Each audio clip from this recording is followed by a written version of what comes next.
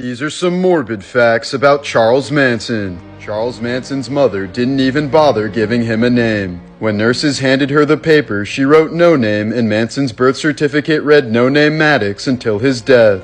After his mother spent three years in prison, she came home and hugged Charles for the first and only time. He later said that this hug was the only happy memory from his childhood. When 32 year old Manson was released from prison in 1967, he requested to stay behind bars. He'd spent nearly half his life in jail and saw it as his only true home. Authorities denied his refusal, and Manson started his cult shortly after he was freed.